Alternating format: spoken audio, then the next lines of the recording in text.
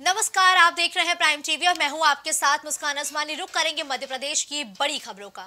CM Shivraj Singh Chauhan ने ग्वालियर ग्रामीण क्षेत्र में बीजेपी प्रत्याशी के समर्थन में जनसभा की। इस दौरान उन्होंने कांग्रेस पर जमकर हमला बोला। उन्होंने कहा कि कांग्रेस भ्रम फैलाती है। कांग्रेस बेईमान और झूठी पार्टी है। कांग्रेस मेरी योजना बंद करने वाली पार्टी है। कांग्रेस जब जब सत्ता में आई थी तो कांग्रेस ने मेरी सारी योजनाओं को बंद करवा दिया था। आगे शिवराज सिंह चौहान ने कहा कि मैं सरकार नहीं चलाता, मैं परिवार चलाता हूँ और आप सब मेरा परिवार है। इस दौरान सीएम ने जनता से सवाल भी किए। सीएम ने किसानों के बहाने कांग्रेस पर निशाना साधा। उन्होंने कहा कि राज बहनों को बारह मिल रहे हैं तो किसानों को भी छह हज़ार रुपए सरकार दे रही है और पीएम मोदी भी छह हज़ार दे रहे हैं। इस तरह बारह हज़ार रुपए मिल रहे हैं, ज़ीरो प्रतिशत ब्याज पर कर्ज भी मिल रहा है। गेहूँ भी एमएसपी के मुताबिक सत्ताईस सौ रुपए क्विंटल रेट देंगे कांग्रेस ने।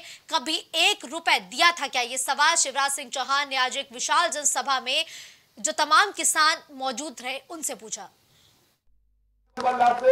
तो मामा स्कूटी दिलवाता है, बेटा हो, चाहे बेटी हो, कांग्रेस ने तो साइकिल तक छीन ली थी मेरे बच्चों की। मैं स्कूटी दिलवाता हूँ, और एक बात जो मेरे दिल में है, और जो मैं करके रहूँगा, मेरे बहनों और भाइयों, मेरे बेटा बेटी कोई भी हो। बच्चे मेरे कलेजे के टुकड़े मैं जात पात नहीं देखता, क्योंकि सब मेरे हैं और इसलिए उनकी उच्च शिक्षा अगर उनका एडमिशन मेडिकल इंजीनियरिंग कॉलेज में कहीं होगा तो फ़ीस चाहे कितनी भी हो उनकी वो फ़ीस उनके माता पिता भी भरवाएँगे उनका मामा शिवराज सिंह चौहान भरवाएगा भारतीय जनता पार्टी की सरकार भरवाएगी और इसके आगे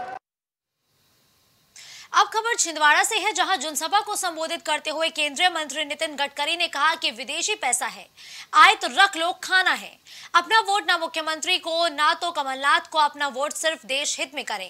इस दौरान उन्होंने सौसर क्षेत्र की मुख्य फ़सल संतरा और कपास को विदेश निर्यात करने की भी बात कही है।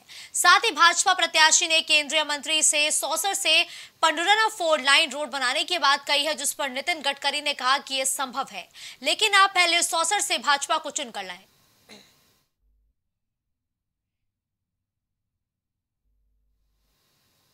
खबर चंदेरी से है, जहाँ विधानसभा चुनाव नज़दीक आते ही प्रत्याशियों को जिताने के लिए स्टार प्रचारकों की ओर से लगातार सभाएँ की जा रही हैं।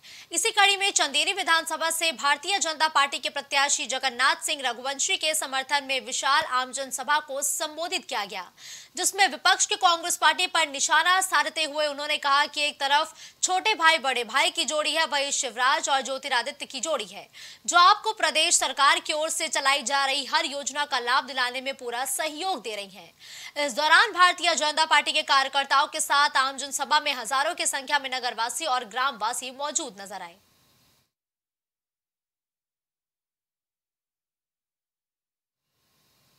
जुन्नारदेव विधानसभा के बिलावर कला के बीरट पठार में सड़क को लेकर सांसद नकुलनाथ और प्रत्याशी सुनील उइके को सभा से पहले ग्रामीणों ने रोक लिया। और दोनों के सामने अपनी बातों को रखा, वही पूरी घटना का वीडियो भी जमकर वायरल हो रहा है। वायरल वीडियो में ग्रामीण सांसद और प्रत्याशी को क्षेत्र में घुसने नहीं दिया जा रहा है। पूर्व ब्लॉक अध्यक्ष घनश्याम तिवारी ने इस मामले में बताया कि उनकी समस्या सड़क की है, जो बारिश के समय ज़्यादा परेशानी खड़ा कर देती है।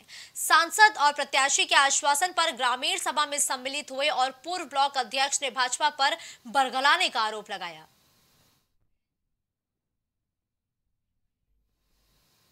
अब खबर ग्वालियर से है, जहाँ बहोड़ापुर थाना क्षेत्र के शंकरपुर गाँव में चुनावी रंजिश के चलते दो पक्षों में विवाद हो गया। विवाद के बाद मारपीट में आधा दर्जन लोग घायल हो गए और पुलिस ने इस मामले में दोनों पक्षों पर मामला दर्ज किया है।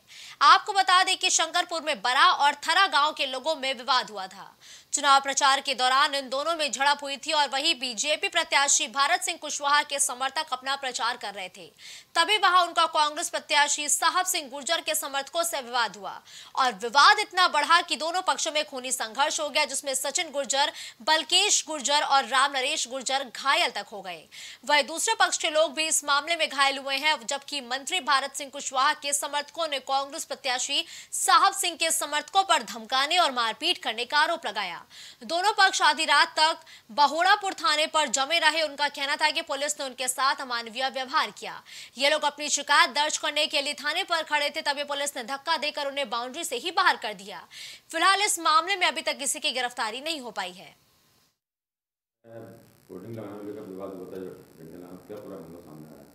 कल शंकरपुर में दो पक्षों के बीच में चुनाव की बात को लेकर आपस में झगड़ा विवाद हुआ और एक दूसरे के विरुद्ध दोनों पक्षों द्वारा थाना बोड़ापुर में रिपोर्ट दर्ज कराई गई है।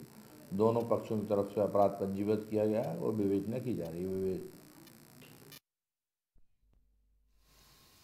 खबर ग्वालियर से है, जहाँ गाय के गोबर से प्रदेश का सबसे बड़ा गोवर्धन पर्वत बनाया गया है। ये गोवर्धन पर्वत 108 टन गोबर से बनाया गया है। वहीं लाल टिपारा गौशाला में गोवर्धन पर्वत का विधि विधान से पूजा भी की गई है। साथ ही भोग और प्रसादी का आनंद भी श्रद्धालुओं ने लिया। गौशाला के महंत ने भगवान श्री कृष्ण की पूजा अर्चना के बाद लोकतंत्र के सबसे बड़े उत्सव चुनाव के लिए एक अनोखा संदेश दिया। इस दौरान महंत ने कहा कि पूजा अर्चना के साथ अपने अहंकार को भी यहाँ पर समर्पित करके जाए। साथ ही गौरक्षा और प्रकृति संरक्षण का संकल्प ले। जिस प्रकार से गौदान का महत्व है, उसी प्रकार से मतदान का भी महत्व है। इस दौरान उन्होंने अपील की है कि राष्ट्र को विकास के पथ पर ले जाने वाले को ही अपना वोट दें और राष्ट्र की रक्षा और विकास में सहयोगी बने। का गोवर्धन पर्वत बनाया गया है।